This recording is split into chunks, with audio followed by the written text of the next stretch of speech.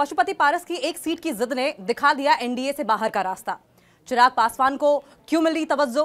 Hajipur seat आखिर क्यों बन गई है सबसे इंपॉर्टेंट आइए जल्दी से नज़र डाल लेते हैं कि क्या कुछ इक्वेशन है। रामविलास पासवान के बाद एलजेपी में टूट पड़ी तो दो गुट बने। एलजेपी का एक गुट पशुपति पारस के साथ आया, वहीं दूसरा चिराग पासवान के साथ। लेकिन दोनों ही बीजेपी के साथ खड़े दिखाई दिए। फिर हैरान करने वाली बात यह है कि सीट शेयरिंग में चाचा पशुपति पारस का पत्ता क्यों साफ़ हो गया? पत्ता साफ़ होता हुआ दिखाई दे रहा है। पशुपति पारस को बीजेपी ने एक भी सीट नहीं दी है। और कहा यह जा रहा है कि पशुपति पारस की जिद ने ही उन्हें एनडीए का बाहर का रास्ता दिखा दिया है। जिद हाजीपुर सीट से ही चुनाव लड़ने की। हाजीपुर सीट, पशुपति पारस और चिराग दोनों ही मांग कर रहे थे सीट की। हाजीपुर सीट वो सीट है जहाँ से रामविलास पासवान चुनाव लड़ते थे। और नौ बार लगातार लोकसभा सांसद भी चुने गए हैं। 2019 में पहली बार यहाँ से पशुपति पारस चुनाव लड़े थे और फिर लोकसभा पहुँचे। अब यह समझना बहुत ज़रूरी है कि क्या हाजीपुर सीट का मतलब खुद रामविलास पासवान का होना है?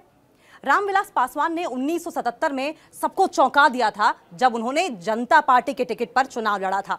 और कांग्रेस पार्टी के कैंडिडेट को सवा चार लाख मतों से ज़बरदस्त तरीके से सीट पर मात दी थी।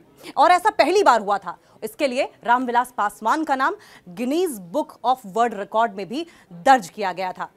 वहीं अगर साल उन्नीस सौ चौरासी और 2009 को छोड़ दें तो रामविलास पासवान इस सीट से नौ बार सांसद चुने गए। उनका दबदबा इस सीट पर लगातार बना रहा। उन्होंने 2014 में आखिरी बार यहाँ से चुनाव लड़ा था और फिर वो राज्यसभा चले गए थे। और उसके बाद साल 2019 में उनके भाई, छोटे भाई पशुपति पारस यहाँ से खड़े हुए और जीत भी गए। पशुपति पारस की ये जीत रामविलास की विरासत मानी गई। हाजीपुर सीट इसलिए खास है क्योंकि ये रामविलास पासवान की पहचान बन गई थी।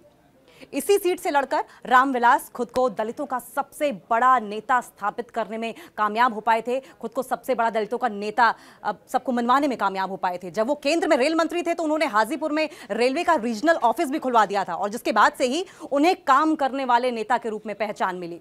रामविलास पासवान की विरासत को आगे बढ़ाने के लिए खुद चिराग पासवान उनके बेटे और उनका छोटा भाई पशुपति पारस दोनों के अंदर ललक रही है। दोनों ही चाहते हैं इस विरासत को आगे बढ़ाना। एनडीए ने हाजीपुर सीट पशुपति को न देकर चिराग पासवान को दे दी है, जबकि सूत्र कहते हैं कि बीजेपी पशुपति को समस्तीपुर सीट दे रही थी, लेकिन पशुपति की जिद ये थी कि वो हाजीपुर सीट से ही चुनाव लड़ेंगे और उनकी जिद के बाद उन्होंने केंद्रीय मंत्री पद से इस्तीफा दे दिया। चिराग को संभवतः इसलिए भी प्रेफरेंस मिली क्योंकि चिराग पहले भले ही एनडीए का हिस्सा न रहे हों। लेकिन उन्होंने बीजेपी या फिर एनडीए पर किसी तरह का कोई हमला नहीं किया। उन्होंने खुद को प्रधानमंत्री नरेंद्र मोदी का हनुमान बताया।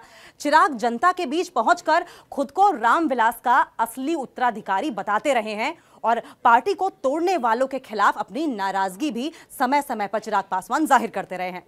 पिछले साल जुलाई में चिराग पासवान दोबारा एनडीए में आ गए थे और एनडीए का हिस्सा बनते ही उन्होंने सबसे पहले हाजीपुर सीट पर दावा ठोका था। हाजीपुर का गणित क्या है? चलिए आइए वो भी जान लेते हैं। तो रामविलास पासवान दलितों के बड़े नेता थे और उनके बेटे चिराग पासवान को जन आशीर्वाद यात्रा के दौरान जिस तरह का ज़बरदस्त समर्थन मिला, उससे यह समझा जा सकता है कि आज भी हाजीपुर का जो कोर वोटर है, वो चिराग पासवान के साथ ही है।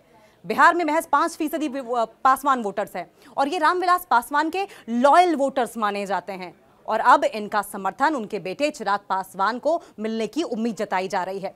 चिराग के आने से एनडीए को सीधे सीधे पाँच से छह फ़ीसदी वोट मिल जाएँगे। बीजेपी के लिए ये किसी बोस्टर डूज से कम नहीं होगा।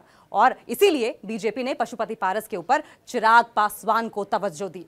एक तथ्य यह भी है कि जब रामविलास पासवान का निधन हुआ था उसके बाद पशुपति पारस के चिराग पासवान को लेकर खराब बर्ताव की वजह से जनता की सहानुभूति का फ़ायदा भी चिराग पासवान को मिल सकता है। और इसीलिए हर तरीके से पशुपति पारस के ऊपर चिराग पासवान को बीजेपी ने तवज्जो दी।